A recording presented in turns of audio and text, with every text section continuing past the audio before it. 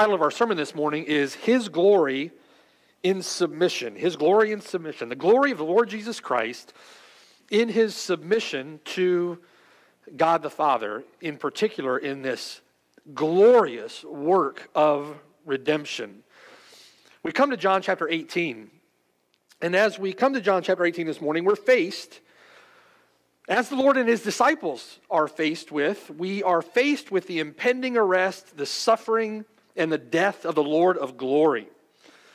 However, faced with such tragic circumstances, such dark circumstances, the purpose of John through these circumstances is that the glory of the Lord Jesus Christ would be magnified in the darkness, that we would see him for who he is and what he has done, and that we would see him in his excellencies, in his perfections, in his glory. He's left the disciples now in John chapter 18. He's left the disciples with parting instruction. And after preparing them for what lies ahead, he prays for them, he commends them into the hands of God the Father, and now again, he sets his face like a flint toward the cross. Even now, as we enter into these verses in John chapter 18, there is a meeting taking place in the house of Caiaphas, the high priest. The members of the Sanhedrin are there, the members of the temple guard are there, temple police.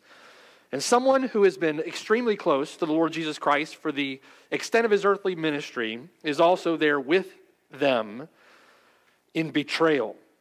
Now, according to the determined purpose and foreknowledge of God, Jesus will be delivered up by a vile betrayer, by this traitor. He'll be taken by lawless hands, he'll be bound, beaten, scourged, crucified, and killed. And in this account, as we enter in upon his passion, as it's called, his suffering, John focuses his account on the glory of the Lord Jesus Christ. And his glory here, specifically in the context of his sovereign submission. If You can imagine the condescension of the Lord of glory stepping out of heaven to take upon himself the dirt of this earth, the dirt, the flesh of our existence, and walk with rebel sinners and die for those whom the Father had given him, those who had been all their lives subject to bondage, rebels against God, sinners, God's law courts. And he now goes toward the garden for them. We'll see that sovereign submission, the glory of the Lord Jesus Christ, one in his courageous submission, his courageous submission in verses 1 through 4. So we come to verses 4 through 9, we'll see his humble submission, the humility of the Lord Jesus Christ, the glorious humility of the Lord Jesus Christ. And lastly, we'll look at his determined submission in verses 10 through 12. Let's begin, point one on your notes, his courageous submission Let's begin with verse 1. John chapter 18, verse 1, where John records when Jesus had spoken these words, he went out with his disciples over the brook Kidron, where there was a garden which he and his disciples entered. And Judas, who betrayed him, also knew the place, for Jesus often met there with his disciples. Then Judas, having received a detachment of troops and officers from the chief priests and Pharisees, came there with lanterns, torches, and weapons. Jesus, therefore, knowing all things that would come upon him, went forward and said to them, Whom are you seeking? Now, the narrative in verse 1 begins with both an exit and an entrance. The narrative begins with an exit and with an entrance. When Jesus had spoken these words, verse 1, or after Jesus had spoken these words, he went out. These words that are referred to in John chapter 18, verse 1, certainly refer to his high priestly prayer in John chapter 17 that we just walked through together. Also, though, certainly referring to the entirety of the farewell discourse, his parting words, the farewell discourse that really began in John chapter 13 with the departure of Judas the betrayer. He taught them as they left the upper room in John chapter 14, verse 31. He talked as they walked together through the city of Jerusalem toward this eastern exit now facing the Mount of Olives.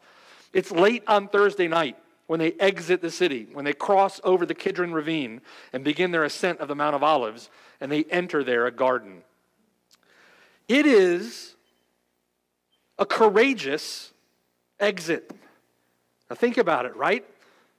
The Lord voluntarily walks out of the city knowing all that would come upon him.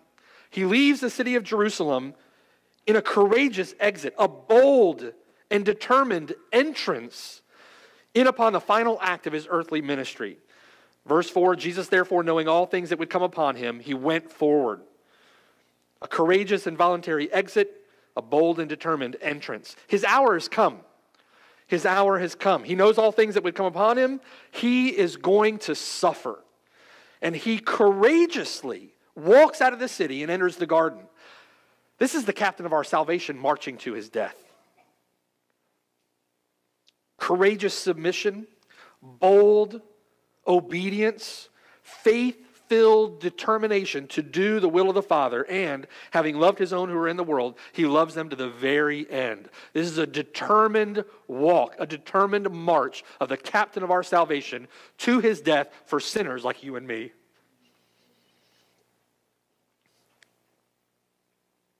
As we consider this text, I want us to take away from these verses that sense of triumphant faith that the Lord Jesus Christ has here. I'd like us to walk away with a sense of his courageous submission. You know, there are men who can say, I stormed the beach at Iwo Jima for my country, right? Maybe you've met them. We know from history there are martyrs who walked the path from their cell to the stake for the cause of Christ. But there was never a walk like this one. Knowing all things that would come upon him, he went forward. We're going to unpack what those things are as we work through the text. That thought that the Lord Jesus Christ, knowing all things that would come upon him, and yet he exited the city, entered the garden, that fact has motivated many a martyr. There are many who have gone from the cell to the stake for Christ, meditating upon that walk from Jerusalem to the garden. There have been many a brother, many a sister who have stood to preach the gospel, thinking on, meditating on the Lord's submission here in this inexorable walk toward the cross. Maybe many of you, in coming to Christ, humbling yourself, confessing your sin, turning from your sin, knowing that the Lord Jesus Christ here submitted to this fateful march for you. Maybe many of a, uh, many a husband humbling themselves before their wife and asking for forgiveness. Many a brother in conflict humbling themselves to ask for forgiveness.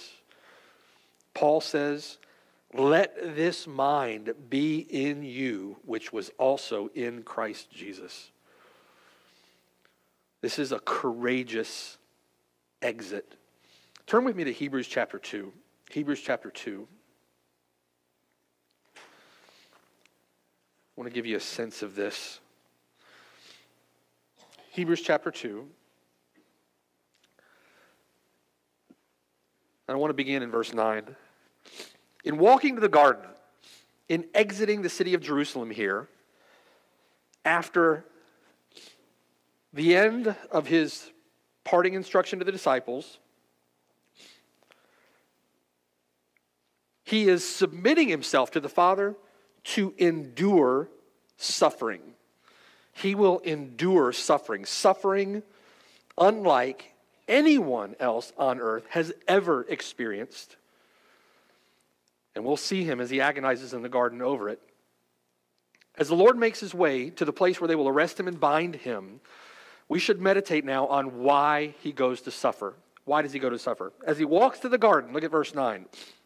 As he walks to the garden, we see Jesus, Hebrews chapter 2, verse 9, who was made a little lower than the angels for the suffering of death crowned with glory and honor, that he, by the grace of God, might taste death for everyone.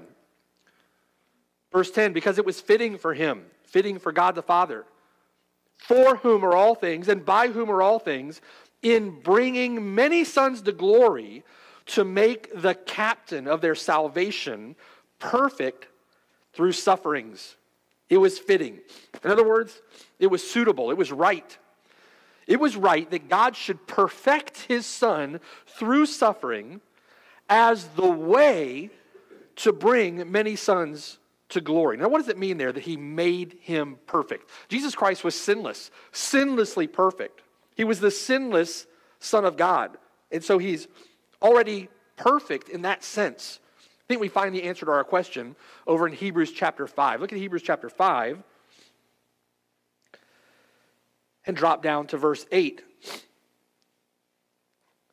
where our author explains in verse 8 that though he was a son, yet he learned obedience by the things which he suffered. Now, think through this with me.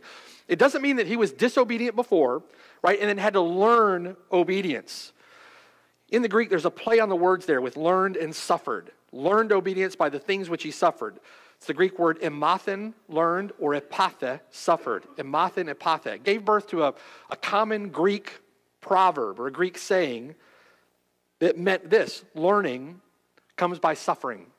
Learning comes by suffering. In other words, the Lord Jesus Christ was perfected as his submissive obedience was tested and tried and found faithful in the crucible of suffering. As the Lord obeyed, submitted himself, courageously submitted himself to the suffering, the Lord Jesus Christ, in his obedience, was tested, was tried, and his obedience found faithful even in suffering. His obedience was found to be unfailing in the face of extreme testing. proving himself obedient through suffering, he was being made perfect. Look at verse 9. And having been perfected, he became the author of eternal salvation to all who obey him. Our obedience, the obedience of the genuine Christian, is the fruit of his own obedience. And then the salvation that was purchased by the obedience of the Son is given to those obedient through him. Look back in chapter 2, Hebrews chapter 2. In verse 9, we see Jesus, who was made a little lower than the angels for the suffering of death, crowned with glory and honor, that he, by the grace of God, might taste death for everyone. For it was fitting for him, for God, for whom are all things and by whom are all things, in bringing many sons to glory to make the captain of their salvation perfect through sufferings. It was fitting for God that he must succeed in a perfect obedience where all of us have failed. Where we have failed, he must succeed in perfect obedience. And that tested, that obedience tested in suffering. He became, as Paul says, obedient to the point of death, even the horrible and tragic death of the cross. And he does that to bring many sons to glory. Look at verse 11. For both he who sanctifies, that's Christ, and those who are being sanctified, that's believers, you and I, if you're in Christ, both he who sanctifies and those who are being sanctified are all of one for which reason he is not ashamed to call them brothers. He obeyed, even through suffering, as we in him obey, even through suffering. And he does that to bring many sons to glory. Go back to John chapter 18. So, John chapter 18, verse 1, then, this is the captain of our salvation walking out in courageous submission. With whom? With whom we are joint heirs, if indeed we suffer with him, that we also may be glorified together. So think with me, brothers, sisters. When you're about to knock on the door and evangelize someone, and maybe you're a little fearful, when you're about to approach a stranger and you're a little fearful, when you're about to stand up on the, on the campus and open air preach, some angry guy comes at you from across the parking lot at the murder mill, and you're a little fearful. Remember the Lord's courageous submission When you're about to give, even though it's going to hurt this month, remember all that the Lord has given.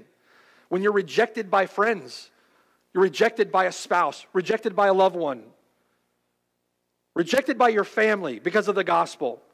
When false disciples leave you, scoffing as they go, tossing hand grenades as they leave. Blessed are you when they revile you and persecute you and say all kinds of evil against you falsely for my sake. Rejoice, the Lord says, and be exceedingly glad. Great is your reward in heaven. Remember the Lord's courageous submission. He's not ashamed to call us brethren when we suffer with him. Don't you want to be called a brother, right? A sister. John chapter 18, verse 1. The Lord, knowing all things that would come upon him, verse 1, went out with his disciples over the brook Kidron.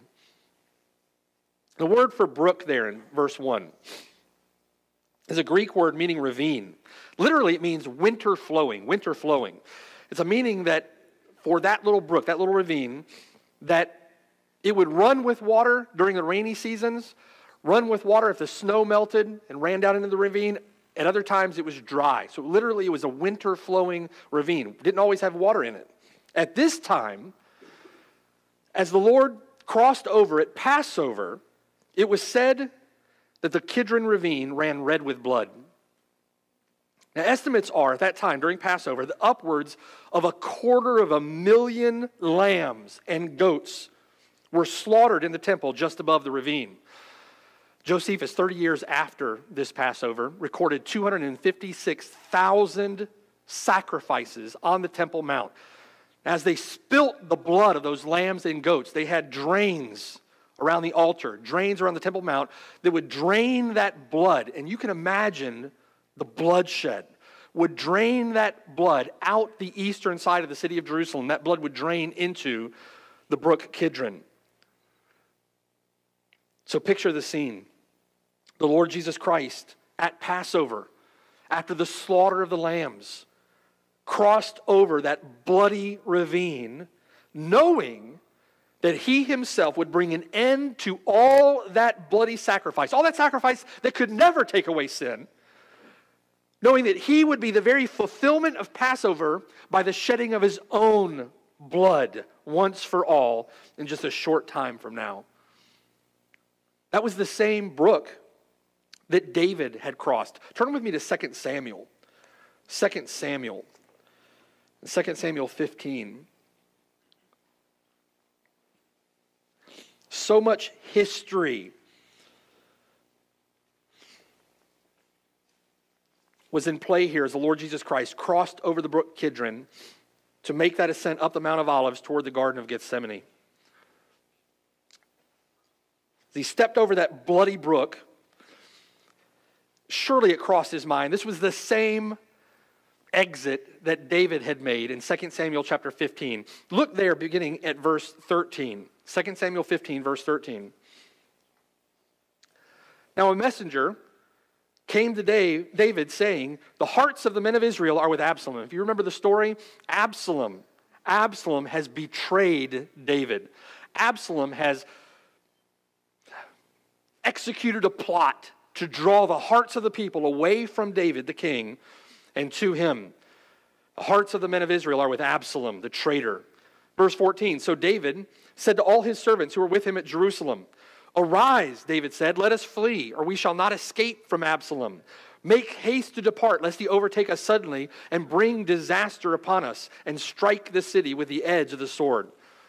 And the king's servant said to the king, David, we are your servants, ready to do whatever my lord the king commands. Then the king went out with all his household after him. Here, David is also fleeing from a betrayer. David is also David is fleeing his own son Absalom. What does he do to get away from the betrayer? Verse 23. Drop down to verse 23. All the country wept with a loud voice, and all the people crossed over. The king himself also crossed over the brook Kidron, and all the people crossed over toward the way of the wilderness. Drop down to verse 30. So David The same fateful path. David went up by the ascent of the Mount of Olives, and he wept as he went up. And he had his head covered and went barefoot. And all the people who were with him covered their heads and went up, weeping as they went up.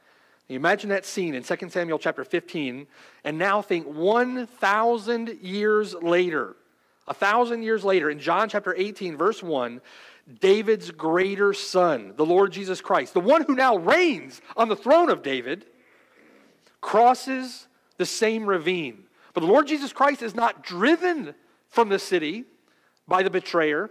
The Lord Jesus Christ walks out of the city to meet his betrayer. He's not fleeing, he's determined to go out and see him, to go out and meet him. David's sins. David's sin brought about the faithlessness of his own son. David's sin brought out the antagonism of his own son, where Christ is the sinless Son of God, not deserving of any of this. Where Christ is a son, as a son is faithful over his own house, crowned with glory, whose house we are if we hold fast our confidence and rejoicing of the hope firm to the end. So David's crossing his crossing of the brook Kidron all those years ago was a time for those people and David of fear. It was a time of weeping, a time of sorrow for the king and for the people. And Absalom had the upper hand. David betrayed by his counselor Ahithophel. But back in John chapter 18, verse 1, when the Lord crosses over, it is an astounding act of great triumph. Although it looks like everything is going bad, right? It is an astounding march, an astounding exit of great victory, great triumph. It's a courageous and glorious submission. And notice also, back in John chapter 18, verse 1, notice also that here they entered a garden. He went out with his disciples over the brook Kidron, where there was a garden which he and his disciples entered. Now, notice that John doesn't identify it here as the Garden of Gethsemane as the synoptics do. The synoptic gospels identify the garden, John doesn't. He simply says it's a garden. Now, it appears as though the reference here is intentional. I want you to look with me. John takes care to note there's a garden here. He does the same where Jesus was crucified in John chapter 19. Flip the page with me. John chapter 19. Look at verse 40. John chapter 19.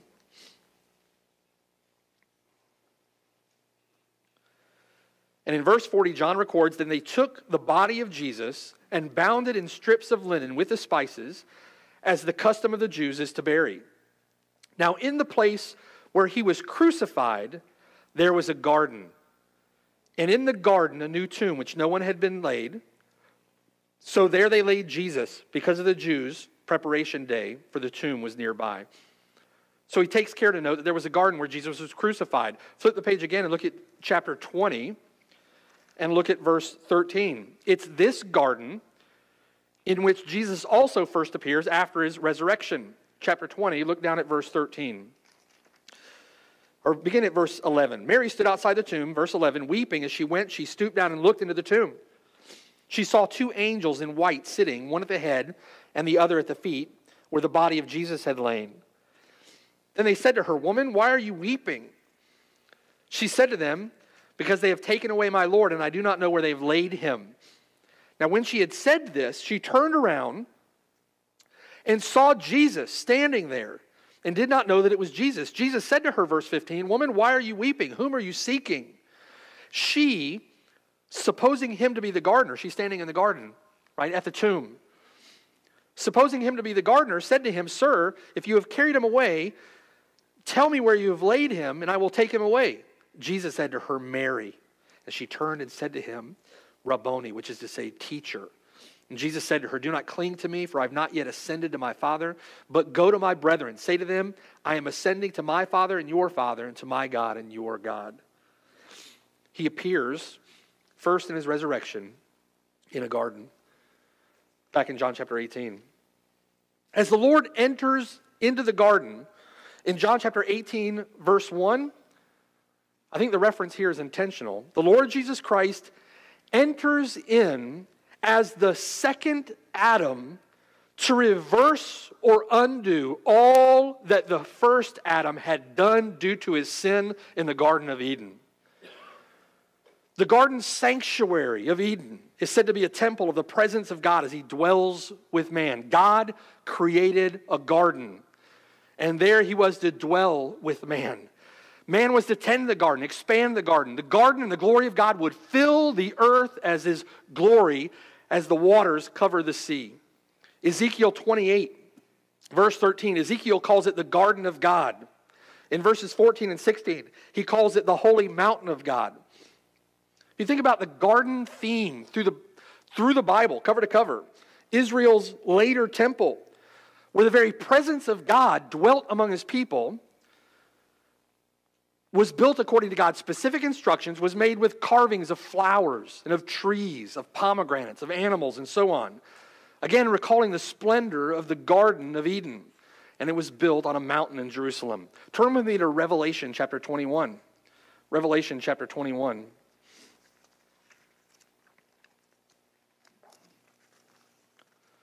Again, in Revelation chapter 21, John writing again.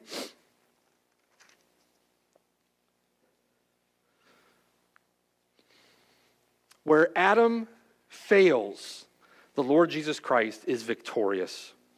Revelation chapter 21, look down beginning at verse 22. Here again, John writing, as the new Jerusalem has descended out of heaven John says in verse 21 But I saw no temple in it. For the Lord God Almighty and the Lamb are its temple. The city had no need of the sun, of the moon, or the moon to shine in it, for the glory of God illuminated it. The Lamb is its light, and the nations of those who are saved shall walk in its light, and the kings of the earth bring their glory and honor into it. Its gates shall not be shut at all by day, there shall be no night there, and they shall bring the glory and the honor of the nations into it but there shall be by no means enter in uh, enter it anything that defiles or causes an abomination or a lie but only those who are written in the lamb's book of life. Listen to this in chapter 22 verse 1 he showed me a, a pure river of water of life clear as crystal proceeding from the throne of god and of the lamb.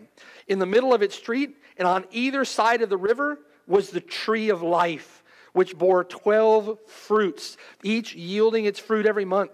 The leaves of the tree were for the healing of the nations, and there shall be no more curse. reversing everything that the first Adam had done. The second Adam, the Lord Jesus Christ, now victorious. The throne of God and of the Lamb shall be in it, and his servants shall serve him. Verse 4 They shall see his face, and his name shall be upon their foreheads. There shall be no night there. They need no lamp nor the light of the sun, for the Lord gives them light, and they shall reign forever and ever. So, what happens? What happens in the very first, God, uh, very first garden? What happens with the, the first Adam? Everything that God created was perfect. Everything that God created, a dwelling place of God with man. God commanded Adam not to eat of the tree of the knowledge of good and evil. For in the day that he ate of it, God said that he would surely die. Literally, he told Adam, Dying, you will die. Adam disobeyed God's command. And in Adam disobeying God's command, all mankind fell in Adam. And all mankind are born under the curse of the law. That's what happens in the very first garden with the first Adam. What happens as the Lord Jesus Christ enters this garden in John chapter 18, verse 1. Jesus, the Lord Jesus Christ, perfectly submits to the will of the Father in absolute obedience to all of his commands. And through the, the voluntary laying down of his life, his own life, as the sinless Son of God, the second Adam does what the first Adam could not. Turn with me to Romans chapter 5. Romans chapter 5.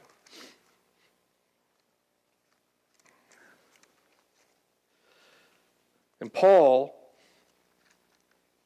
describes it this way in Romans chapter 5, beginning in verse 18.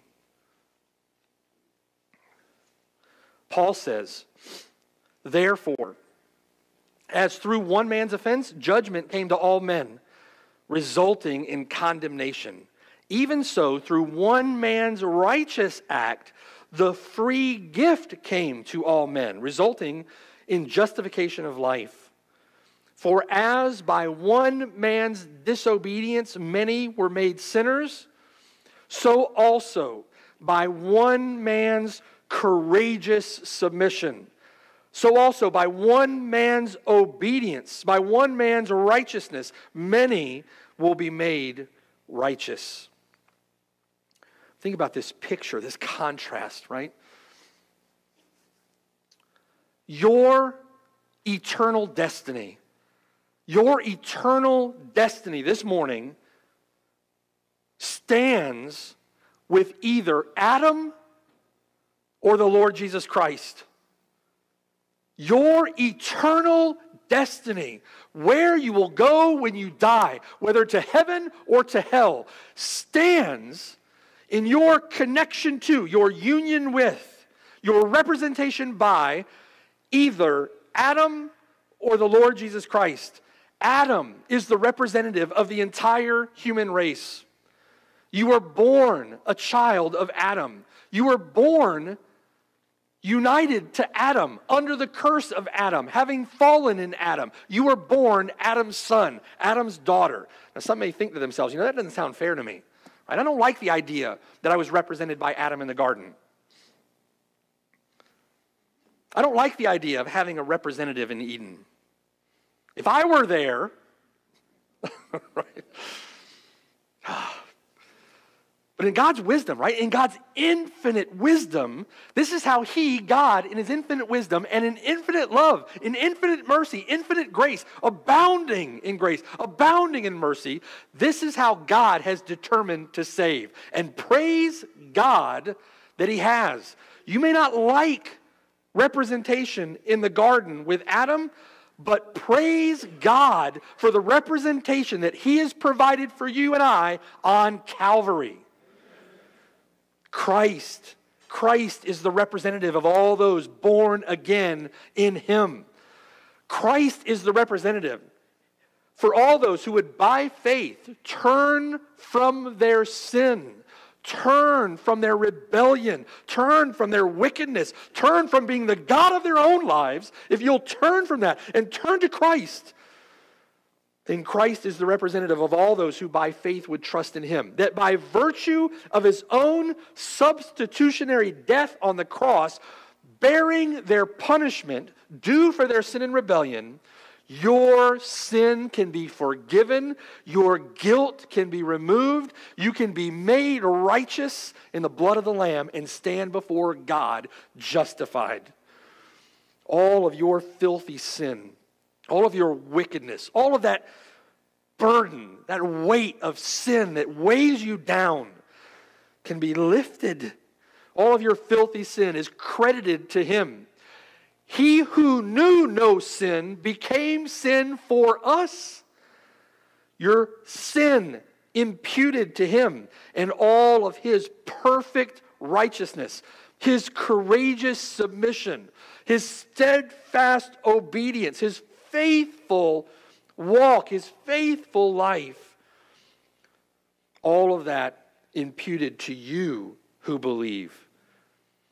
So that you not only stand before God as if you've never sinned, you not only stand before God as if you've never sinned, but you can stand before Him perfect in His own sight as His perfect, sinless Son. clothed, clothed in the righteousness, the white linen robes of the righteousness of his own son. In Adam, you're born in sin. You're born under the curse. You are condemned already. The Bible describes you as a son of the devil, a child of wrath. Dying, God says, you shall surely die. Cursed is everyone who does not abide by all things written in the book of the law to do them. Your life is born the reality of that fact. Your life has borne the reality of that fact day in, day out as you sin against God, as you sin with your thoughts, as you sin with your words, as you sin with your deeds. Sin upon sin upon sin, stacking up to heaven, a stench in the nostrils of God. You press to live for yourself. You press to fulfill the lusts of your flesh. But in John chapter 18, verse 1, the Lord marches into that garden on the Mount of Olives. He marches into that garden to submit himself to be taken by lawless hands, crucified, and put to death. That sinners, you and I, if we'll put our faith and our trust in the Lord Jesus Christ, if we will entrust ourselves to him, that we could be set free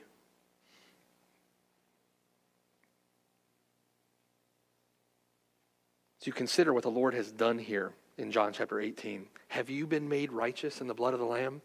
Have you been made righteous by his courageous submission? Has that obedience, has that glorious sacrifice, has it been applied to you?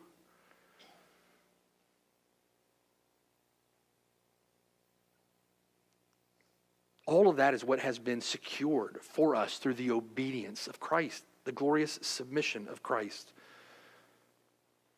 And we are now, we are now to submit to the Lord from the heart as the Lord has submitted himself to God the Father. The Lord, in courageous submission here, John chapter 18, goes to purchase the salvation of his people. He went out with his disciples over the brook Kidron, where there was a garden which he and his disciples entered. As we come to verse 2, verse 2 tells us Judas, who betrayed him, also knew the place, for Jesus often met there with his disciples. Jesus often met there in that garden. They often gathered together. Uh, Luke 21 37 tells us that every night during Passover week, they met together in that garden. Although John doesn't mention that garden by name, we know that this is the Garden of Gethsemane. It was a place they often gathered together. It would have been a place of sweet fellowship, right? Them coming together during ministry to rest, to pray. It was often a pray, place where the Lord would go away to pray. And he does that here as well on the eve of his death. Turn with me to Mark chapter 14. Mark chapter 14.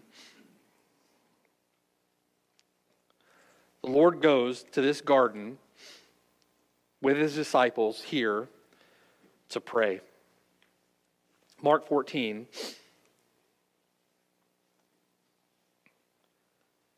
And look down at verse 32. Mark's account of this very event. Mark records in verse 32 they came to a place which is named Gethsemane. And he said to his disciples, Sit here while I pray. And he took Peter, James, and John with him, and he began to be troubled troubled and deeply distressed. Then he said to them, My soul is exceedingly sorrowful, even to death. Stay here and watch. He went a little farther and he fell on the ground and he prayed that if it were possible, the hour might pass from him. And he said, Abba, Father, all things are possible for you. Take this cup away from me. Nevertheless, not what I will, but what you will. He began to be troubled, deeply distressed. My soul, he said, exceedingly sorrowful, even to death. All things are possible for you, Father. Take this cup from me. It's important to understand what's going on here, right? There are, there are martyrs we've known from history who have gone to the stake singing hymns, who sang and prayed as they put their hands into the flames, right? There are the disciples who the Bible says rejoiced to suffer beatings and scourges. Paul would say that to die is gain. We see Daniel in the lion's den, right? Shadrach, Meshach, Abednego in the fiery furnace. We have examples of believers who would pay the ultimate price for their faith. And yet, here we see the Lord troubled, deeply distressed, exceedingly sorrowful. The Lord here, being fully man, is exceedingly sorrowful and deeply troubled. Why? Why? It's the cup. It's the cup.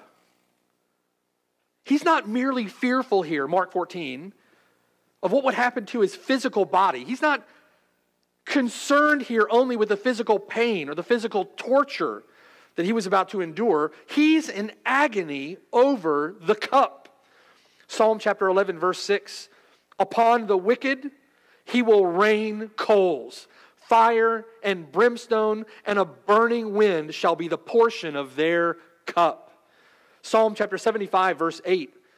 For in the hand of the Lord there is a cup, and the wine is red. It is fully mixed, and he pours it out. Surely its dregs shall all the wicked of the earth drain and drink down.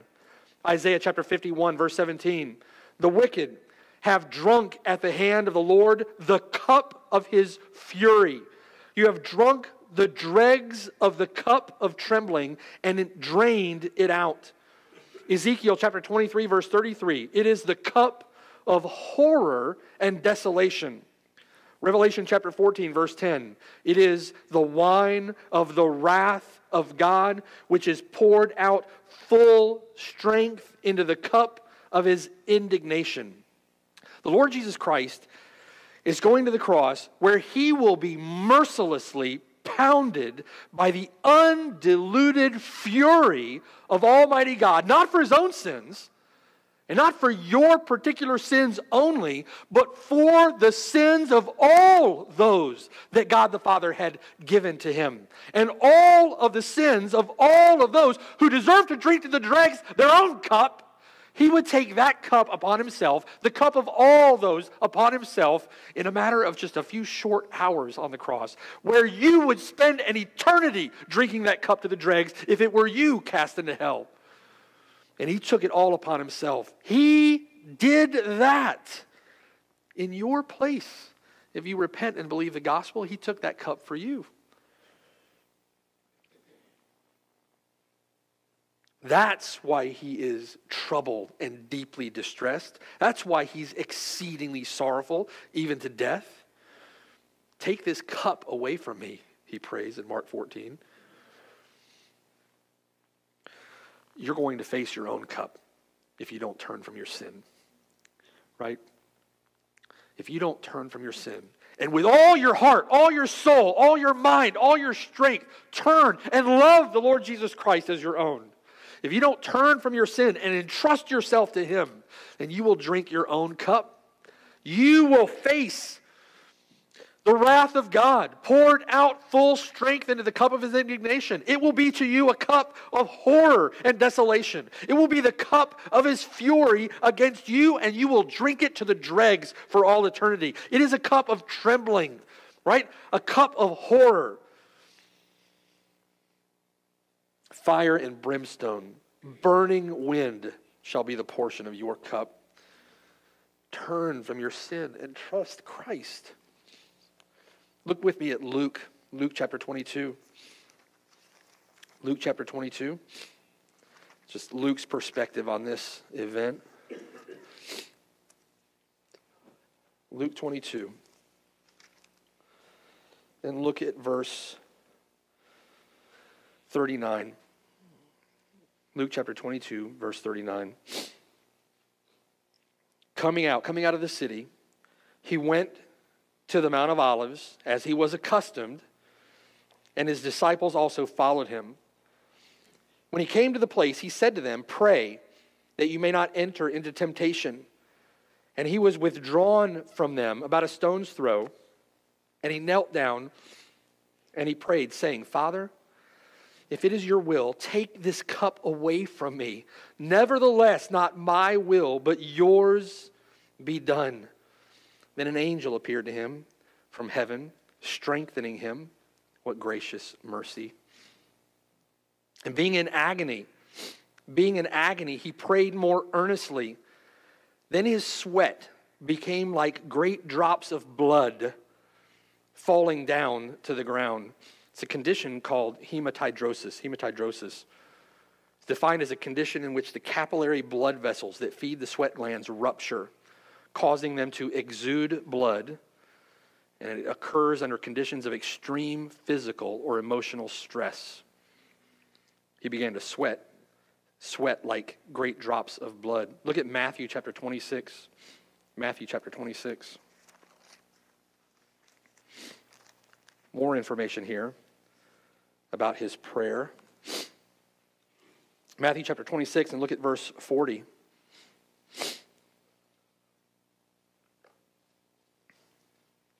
In verse 40, he came to, to the disciples and found them sleeping. And he said to Peter, What? Could you not watch with me one hour? Watch and pray lest you enter into temptation. The spirit indeed is willing, but the flesh is weak. If Peter knew what was about to come upon him, he'd be praying. Verse 42 Again, a second time, he went away and prayed, saying, Oh, my Father, if this cup cannot pass away from me unless I drink it, your will be done. Now, look at the progression with me. He prays that the cup might be taken from him. An angel comes, strengthens him, strengthens him. The Lord is strengthened by it. And so the second time that he prays, he prays with more resolve. If this cup can't pass from me unless I drink it, your will, Father, your will be done. Verse 43 He came and found them asleep again, for their eyes were heavy. So he left them, went away again, prayed this time the third time, saying the same words. Then he came to his disciples and said to them, Are you still sleeping and resting? Behold, the hour is at hand. The Son of Man is being betrayed into the hands of sinners. Rise, let us be going. See, my betrayer is at hand. More resolved, more resolved regarding the will of God each time. Now, notice that John, we compare these accounts, John doesn't focus on the details here of the Lord's agony. John is concerned only to focus on the Lord's triumphant and victorious submission. Just as he writes in John chapter 20, verse 31, right? That you may believe that Jesus is the Christ, the Son of God, and that believing you may have life in his name. Here in our other accounts, we see a record of the Lord's suffering. What happens next? Look at verse 47. What happens next? While he was still speaking, behold, Judas, one of the twelve, with a great multitude with swords and clubs, came from the chief priests and elders of the people. Now his betrayer had given them a sign, saying, Whomever I kiss, he is the one. Seize him. Immediately he went up to Jesus and said, Greetings, Rabbi, and kissed him. But Jesus said to him, Friend, why have you come? And they came and laid hands on Jesus and took him. Suddenly, one of those who were with Jesus stretched out his hand, drew his sword, and struck the servant of the high priest and cut off his ear. Jesus said to him, Put your sword in its place, for all who take the sword will perish by the sword. Or do you think that I cannot now pray to my Father, and he will provide me with more than 12 legions of angels? How then could the scriptures be fulfilled that it must happen thus? In that hour, Jesus said to the multitudes, Have you come out as against a robber with swords and clubs to take me? I sat daily with you, teaching in the temple, and you did not seize me. But all this was done that the scriptures of the prophets might be fulfilled. Then all the disciples forsook him and fled. Look back at John chapter 18. John chapter 18, verse 2. Judas, who betrayed him, literally delivered him over, gave him over. Judas also knew the place for Jesus often met there with his disciples. Verse 3 Then Judas, having received a detachment of troops and officers from the chief priests and Pharisees, came there with lanterns, torches, and weapons. Now, Jesus, or Judas here, Judas, having taken, that's what it means they're received, having brought a detachment of troops. Matthew recorded it as a great multitude. The Greek word is speira, it means cohort. And a cohort was one tenth of a legion of the Roman army, or 600 soldiers. Sometimes a maniple, another word, a maniple or a part of a cohort, cohort was also referred to as a cohort, and a maniple, a maniple contained 200 soldiers. Anywhere from 200 to 600 soldiers, a great multitude. that multitude under the charge of a commander. Officers in verse 3 refers to the temple guard or the temple police. And then with them, a number of chief priests and Pharisees came also. A great multitude. Considering the Roman court cohort, Pilate must have been involved. In order for the, the temple guard, the officers, to come, the Sanhedrin must have been involved. So, this great multitude, all coming out to arrest the Lord Jesus Christ, they came in the dark of night with lanterns and torches to find the light of the world. they came with weapons and a tremendous show of force to arrest the Prince of Peace. Now, notice first that Judas is with them. This is not a surprise to the Lord. There's another snake in this garden. Jesus calls him the son of, the son of perdition, a son of hell. Jesus calls him a devil in John chapter 6. And it just reminds us, we'll talk about this more next week, how close a person can come to being a genuine follower of the Lord Jesus Christ only to be revealed as a vile hypocrite. Judas was with them. Notice, second, that Jesus Christ didn't flee. Jesus Christ didn't flee. Verse 4 Jesus, therefore, knowing all that would come upon him, he went forward and he said to them, Whom are you seeking? Now, Jesus went into the garden, a place that he frequently went, a place that you would expect to find him. Notice verse 2 that Judas also knew the place. The Lord wasn't hiding, trying to evade them. In fact, in verse 4, he went forward to meet them. The Lord Jesus Christ takes the initiative. The Lord Jesus goes out. This is divine courage. This is divine determination. After his prayer, he has embraced the will of God to drink that cup, and he goes out to meet them. When they came to take him in John chapter 6, to make him king by force, he withdrew from them. Now that they have come to take him by force and nail him to a cross, he goes out to meet them. Voluntary, glorious submission, courageous submission. Knowing all that would happen to him, he submitted to the will of God to face the undiluted wrath of God for sinners. The Lord's courageous submission on display in all of this, as the Lord suffers, obeys the will of God and suffers, obeys the will of God and suffers. The Lord Jesus Christ, Hebrews says, he learned obedience. And we explain what that means.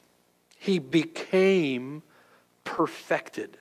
His perfect obedience, fire tested in the crucible of suffering. But he has victory in that garden. He is triumphant in that garden. We're called by Scripture to consider his submission, to consider his obedience. Whatever trials we face, right? Whatever trials, whatever difficulty that you're facing, let us face them with a courageous submission whatever adversity, go out to meet it in faith. Right? Don't complain. Don't gripe about your lot in life. Don't shrink back in faithless fear and doubt.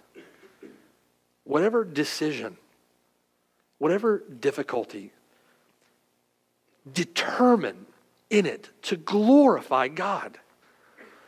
Look at the glory of his submission here, the glory of the Lord Jesus Christ in his obedience. When you're called to fearful circumstances, press forward to meet them with the boldness that Christ exhibits here by faith in his heavenly Father. Trusting. You trust. I need to trust. We need to press forward in a courageous submission. Whatever He calls you to do, do it.